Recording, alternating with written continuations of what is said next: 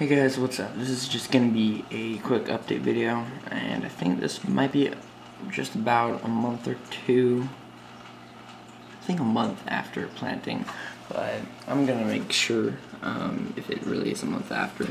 But just wanted to show you guys what. It just looks so dark on my camera, whatever. Well, anyway, I'm just gonna show you guys the dwarf baby tears. Like right here, it's really getting carpeted a lot and the plants back there are for some reason they're just growing up straight. They aren't really shooting off too many runners but I, do see that they are starting but they aren't really. Haven't been doing that for very long. Well these this was like almost instant carpeting it seems like. So then there's a nice little runner over there so I have one question about baby tears. I see this plant coming up out of the sand. Do they send underground runners or do they go across the surface? Just like well, what it's doing now. Like, um, yeah, that's just kind of what I want to know. I know that they definitely go across the surface. Maybe I accidentally buried one of them there and it's just coming up, so I don't know. Now, so I'm going to the uh, dwarf hairgrass. Like right now, I actually just trimmed it. I've been having trouble because actually, the dwarf hairgrass when I first planted it, it all died off, and then it was then it regrowed.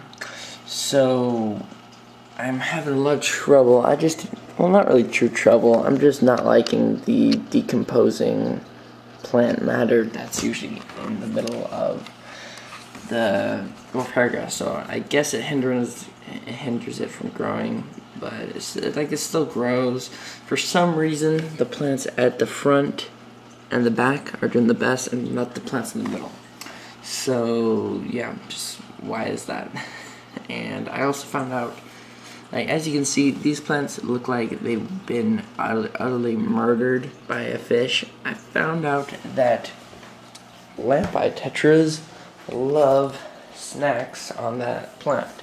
I don't know what it is about the lampites. They're the only fish in there which is actually trying to destroy those plants. So, sadly I had to move them in here, but this is kind of like my biotope in progress. Like, that's why I have the black water. But, it's pretty cool. And I'm growing some plants in here. I have these I want to say that they're Ludwigia, but I'm not sure, so I'm just not. And then I just planted some dwarf hairgrass, and I know this light sucks, which I have on. I need to put a better light, but why I can grow dwarf hairgrass in here is because the sun shines in about twice a day, even though obviously it's not sunny today. But yeah, um, let's see. So yeah, these uh, I'm just gonna call them my Madagascan plant. Um, I'll put all the scientific names of all the plants in the description and yeah, ask me any questions you want if you're new because this is my first true aquascape I've ever made. So I know one time a guy commented about um, the rocks being different kinds of rocks.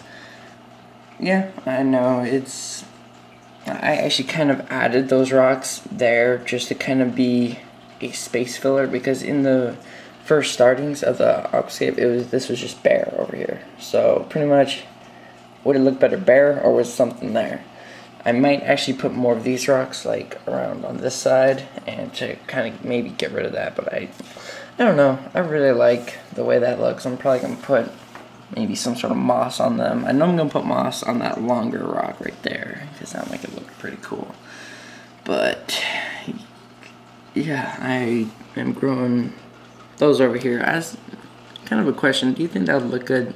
Like, it's, I don't know. I'm just trying to figure out why I planted it over there. Never mind. uh, I guess it's just something random, which I did when the plants were first growing in. Just to make it something over there. So I might just pull that and plant it over here. So, yeah, um,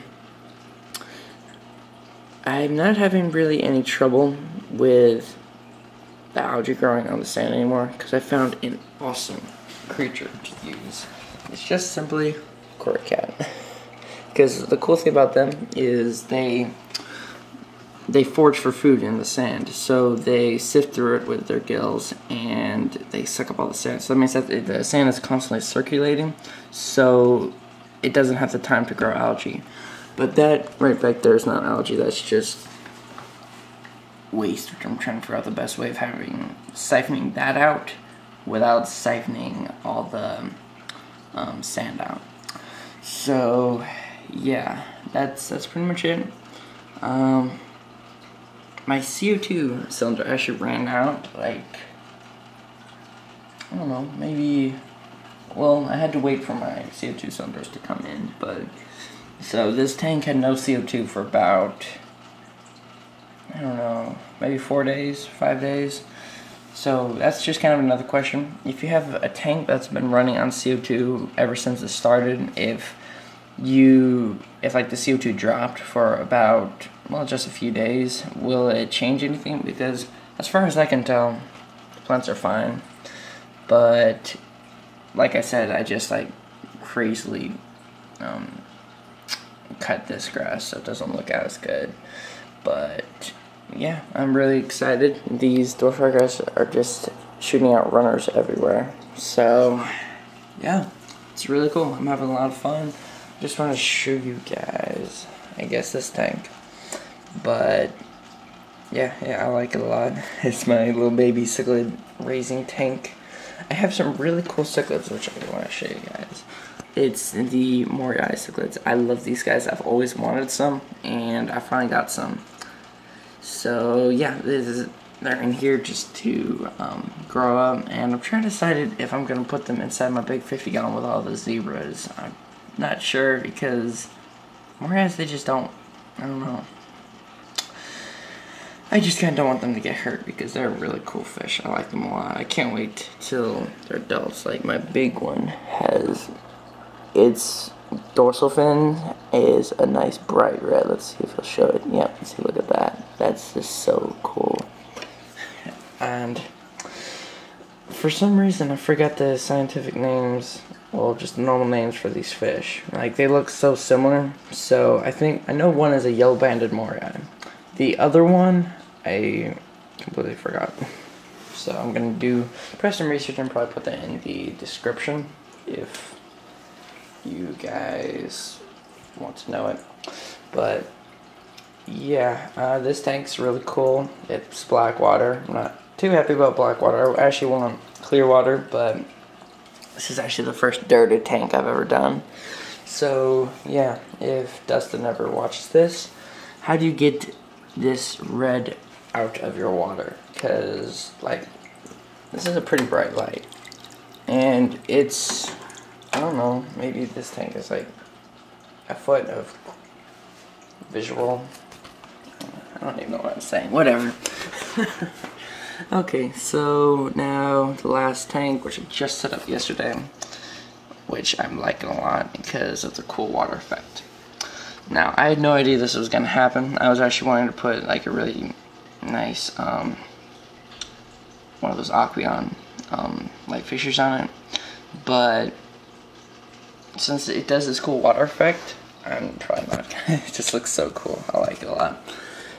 So yeah, these are like really bright lights and yeah, I kind of want to know, will these possibly grow tons of algae because I know this Sunday I'm gonna go be going to the store and I need to know if I need to get a lot of maybe Ottos or I might get Chinese hot I don't know which, but I know I'll get something. But uh, yeah, that's it, and see y'all later.